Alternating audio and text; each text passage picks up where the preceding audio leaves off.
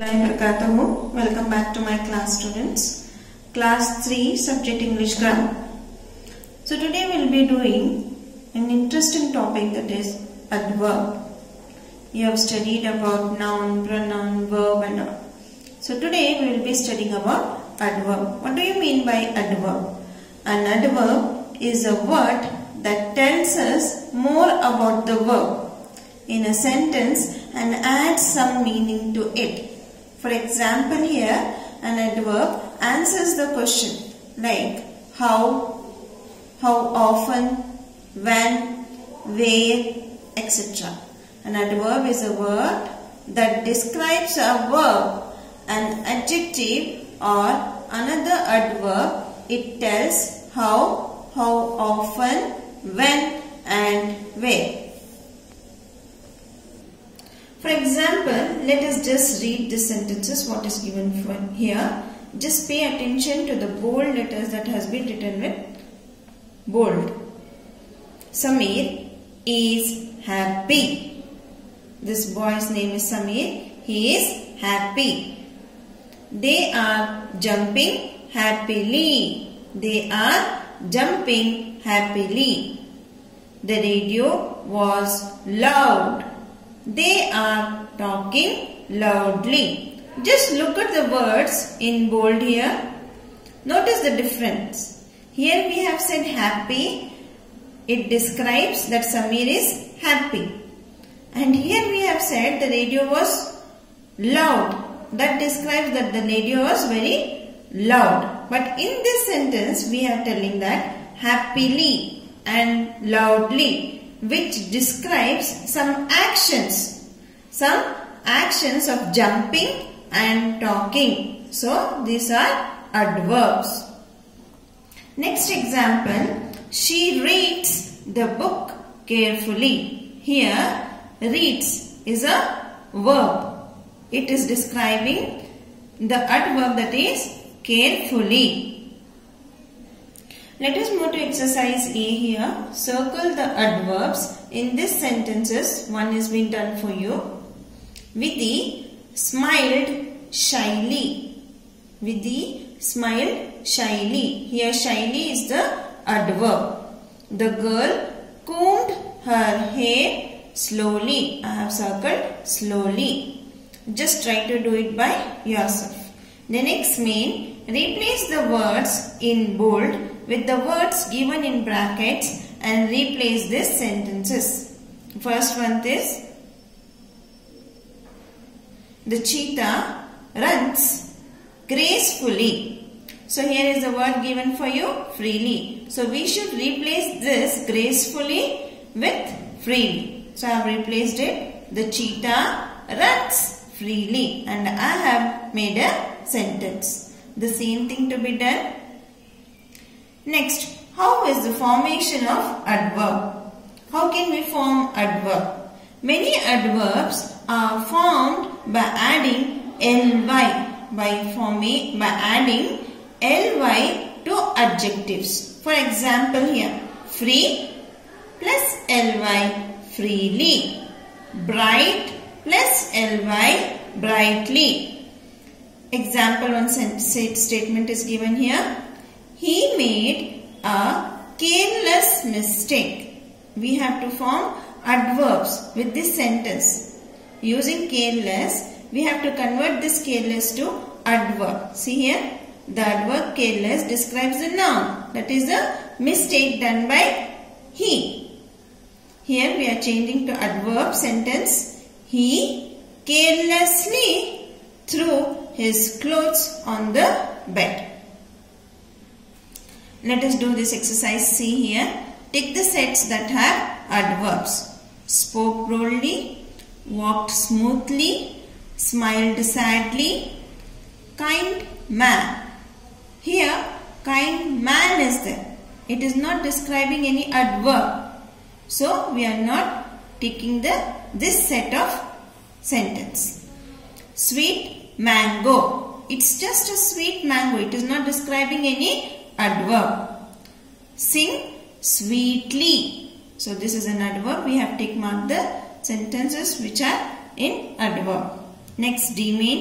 In each set, circle the adverb that has a similar meaning to the adverbs in bold. Cheetah happily, sorry, Chetan happily shares his food with everyone. So here happily has an, another meaning that is generously. It's not sadly. It's the opposite. Here generously is the another meaning of happily. The same thing here bitterly is an, another meaning of angrily. You can do the rest of it by yourself. Next, circle the adverbs in these sentences and draw lines to match them to the correct picture. Just observe the sentence, see which are the adverbs and it by yourself students. F1. Let's make some new sentences. Choose any four adverbs you have read so far and make sentences of your own. So far you have studied about adverbs. So you can make any sentences of your own. I have made here two sentences. Let us see here. She paints beautifully. She paints beautifully. The next sentence I have made. She always sings softly. The rest of two you can make it by yourself. G main. Form adverbs from these adjectives form adverbs from this adjectives. These are the set of words which are adjectives. We should form these ad adjectives to adverbs. Nervous, nervously. Beautiful, beautifully. The rest of it you can do it by yourself. H mean fill in the blanks with the adverbs from exercise G. The children were very truthful. They spoke to the teacher truthful they spoke to the teacher honestly. The rest of it you can do it by yourself. I mean, in each set, fill in the blanks with adverbs made from the adjectives in bold. Meena is a careful driver. She drives her new car carefully. Vijay is a loud boy. He is laughing loudly. Continue the activity and the revision that is K, L and M. Open your English textbook that is literature book page number 14. They have given you circle the word that tells us more about a verb in the sentence. We have already learned what do you mean by adverb. We can add ly to describing words to tell us more about a verb or how an action is done. Here, he eats his food slowly. Which is the adverb here? Slowly. I have underlined that. You can circle it. Got students? The word that tells us more about a verb is called an adverb. Next we'll come to B mean. Complete the sentences using adverbs of manner from the box. What do you mean by adverbs of manner? The adverbs here loudly, sadly, sweetly tells us how they are that adverbs tells us how an action is done are called adverbs of manner. How the action is done that words are called as adverbs of manner. For example here the dog jumped the fence easily. See mean underline the adverbs in the sentence. Write T for the adverbs of time and P for adverbs of place.